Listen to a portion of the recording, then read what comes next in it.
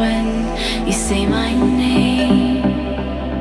Because when this ends, I want someone to blame. Isn't that twisted?